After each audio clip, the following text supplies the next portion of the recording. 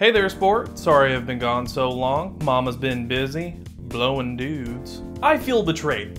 Someone I've been a fan of for a long time just made me look foolish. Tech N9ne. For those who aren't familiar, the self proclaimed number one independent rapper in the world hails from Kansas City and has been cranking out bangers since the Twin Towers were still a thing. You may know him from hits like Hood Go Crazy, the 2014 and 2015 World Series, and Republican TikToks. Welcome to the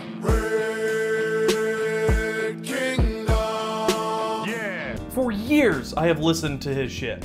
I've introduced people to his music. I've gone and seen him perform on occasion. I was a huge fan. But then he goes and does this shit. Like in some in my veins, my culture banging with strange. I change the game, so what's my motherfucking name?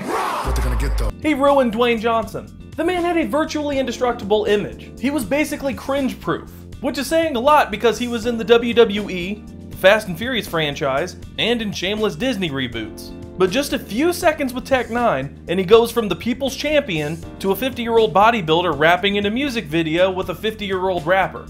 There are people who want this man to be our president, which means, if that were to happen, there's a good chance we would be able to see him perform this at his own inauguration, so keep that in mind. But let's give credit where it's due. The Rock is going through a pretty kick ass midlife crisis. From his perspective, he was just featured on a song with an artist that he likes. But from our perspective, it's like he tried bringing back the T pose. This is my jumping off point for Tech N9ne. What I mean by that is I will no longer be looking out for his new material. And this isn't meant as a negative thing or anything really that Tech N9ne should even give a shit about. It's more of an excuse to show you charts that I made illustrating the artist timeline. This isn't anything revolutionary or really all that original. It's more of a visualization of an already widely accepted idea. In this timeline, there are four phases. The foundation phase, where the artist establishes his or herself the peak phase, which is the height of the artist's quality of work, not necessarily the most popular. The decline phase, which is where the quality of work begins to suffer for any number of reasons. In some cases, people like to blame this phase on an artist becoming sober. In this phase, the artist may still produce some good shit, but the overall quality isn't great. And finally, the jumping off point.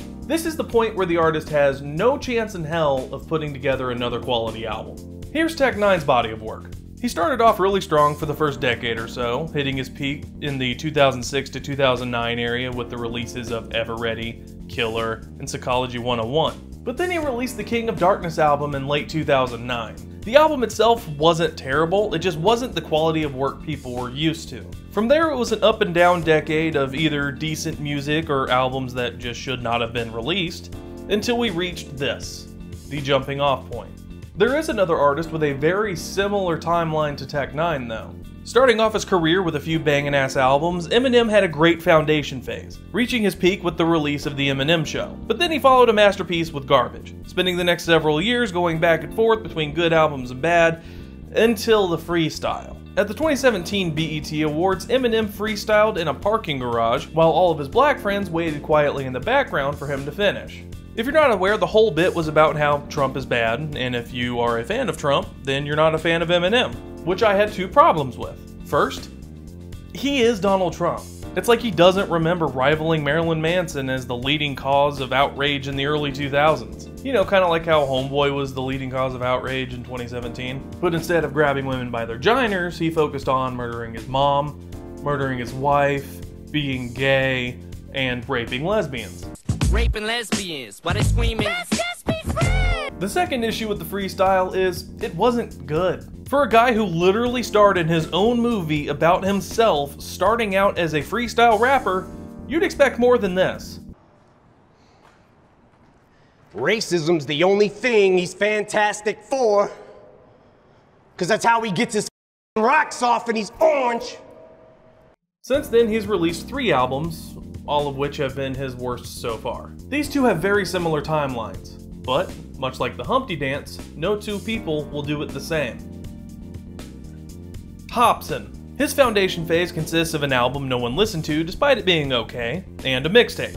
Then he released an absolute classic titled Raw, thus beginning his peak phase. He then followed that masterpiece with Knock Madness, the beginning of the decline phase. He continued down this path for years before releasing No Shame. On it, a diss track to his baby mama, which was actually pretty good and kinda sad. Then he immediately releases a single along with a music video taking back all of the mean things he said and apologizing.